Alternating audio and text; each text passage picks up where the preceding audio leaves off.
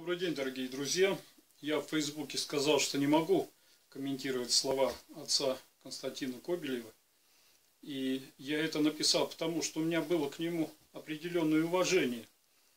Мы с ним знакомы давно. Я помогал ему даже восстанавливать храм, обсуждая, как это сделать, и посылая туда жертвователей. Но время идет.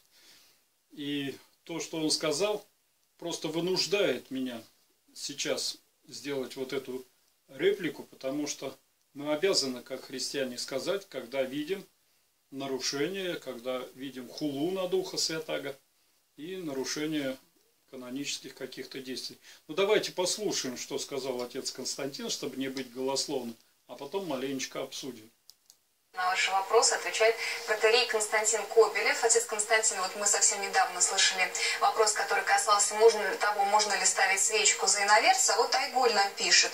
По национальности я татарка, в детстве мне читали имя, как это положено в исламе. А сейчас я хочу покреститься, пишет она.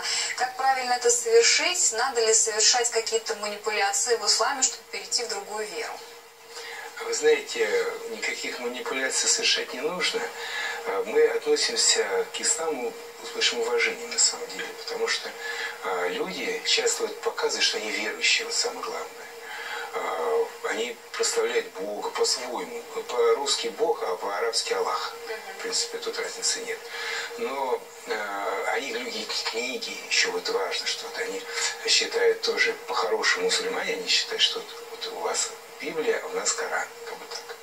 Но нужно понимать то, что, конечно, мы, как христиане, знаем, что Господь Сына Божия своего послал. В этом основа христианства. А у мусульман пророк Мугаммед. Даже вот так вот, если сравнить, то в этом смысле получается выбор в сторону христианства. Но э, вы должны, Айгуль, да, я забыл? Да.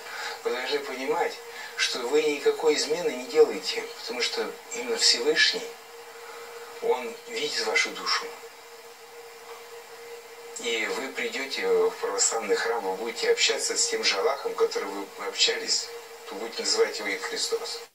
И вы придете в православный храм, вы будете общаться с тем же Аллахом, который вы общались, вы будете называть его и Христос. Ну, вы сами все слышали. Я не знаю, может быть, этот как-то э, каналом так смонтировано интересно и хитро, потому что канал меня неоднократно просили его охарактеризовать. Больше того, меня приглашали работать на этот канал. Я считаю, что он не православный. И точно так же, как любая желтая пресса гонится за какими-то скандальчиками, за какими-то высказываниями, которые э, шокируют общество. Но в данном случае эти шокирующие высказывания, они против веры, против веры. Они явная хула на Духа Святого. И, конечно, полное нарушение канонических каких-то правил.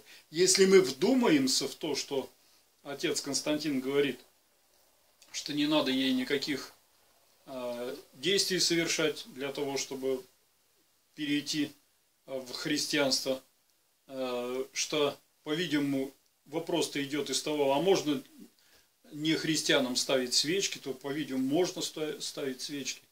Но, конечно, главное то, что мы услышали, это тот Всевышний, который у нас в православных храмах, тот же самый, что и у мусульман, и мы просто на разных языках называем его, мы по-своему называем Бог, а они называют Аллах. Мне все равно, кого мусульмане называют Аллахом и как они это делают. Мне не все равно, как называют моего Бога. И как бы отец Константин не считал, что это одно и то же, то есть личность одна и та же, наше православие этого не считало никогда. У нас есть символ веры – который говорит, что у нас Пресвятая Троица. И если его сравнить с образом Аллаха, который исповедуют мусульмане, ничего общего в этом нет. Сейчас, конечно, ходит, большая ходит политика о том, что у нас Бог един, и начали ее, можно сказать так, иудеи. Прям было принято у них решение такое несколько лет назад, что давайте вот, вот таким образом внедряться. Но распространение в православии такой точки зрения – это ересь. Это прямая ересь. И хула на Духа Святаго. Я понимаю, что мы все ждали последних времен, и как один священник мне все уверял, что они придут после того, как мы увидим кровь по пояс, голод большущий, в котором мы будем вырывать друг у друга кусок хлеба. Но мы увидели, что крови по пояс не видать, хлеба во всех магазинах полно, а вот то, что должно прийти после всех этих признаков, оно вот она здесь. Теперь единоверие единого Бога проповедуют, как видим, уже и православные священники, и объединение в единую религию. Здесь получается под православие отец Константин. Хорошо, что так он сказал. А хорошо, что он не сказал, что и христиане могут в мечеть прийти и там делать все, что хочешь, и это тоже не будет предательством. Так получается? Так получается. Ну, пророка послушать, какая разница? Но ведь есть и следующие ступени, что Христа, если здесь Христа будете называть Аллахом, он говорит, ну так буддисты говорят, что Будда тот же Христос. Кришнаиты говорят, что Кришна тот же Христос. И так далее. И так далее. Неоязычники говорят, что бывший Сварог, Перун, значит, и все остальные это тот же самый Христос. И что? А то, что я не знаю, как после таких слов прийти в его храм и причащаться. Крови Аллаха он причащает в своем храме, что ли?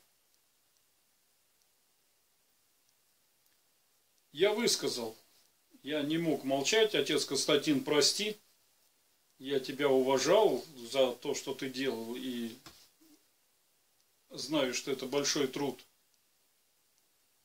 Но я не понимаю, как священники э, Москвы доходят до такого. Но когда-то какие-то такие вещи, там, Кирюша Фролов, НТО там, или еще что-то, или обратно высказывали, но было одно.